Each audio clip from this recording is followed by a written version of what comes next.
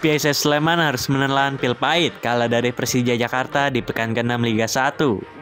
Diketahui, tim Super Elang Jawa ini ditekuk Persija Jakarta dengan skor cukup telak yaitu 3-1 di Stadion Maguarjo Sleman, Yogyakarta. Kekalahan itu membuat para supporter PSS Sleman tak kuasa menahan amarahnya. Terlihat seusai pertandingan beberapa supporter PSS Sleman turun ke lapangan Para supporter terlihat turun ke lapangan guna menghampiri wasit dan asisten wasit yang memimpin jalannya laga.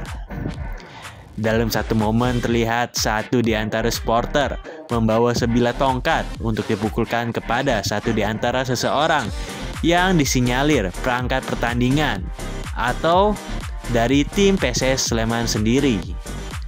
Pukulan pertama orang tersebut berhasil mengenai, namun pada pukulan kedua, gelandang Persija Jakarta Hanif saja Bandi melakukan aksi heroiknya.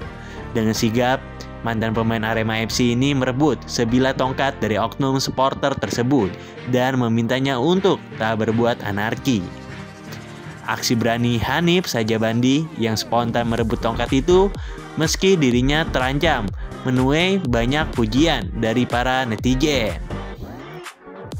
Selain itu, kekalahan ini membuat PSS Sleman kembali harus puasa kemenangan dalam lima pertandingan terakhir di Liga 1.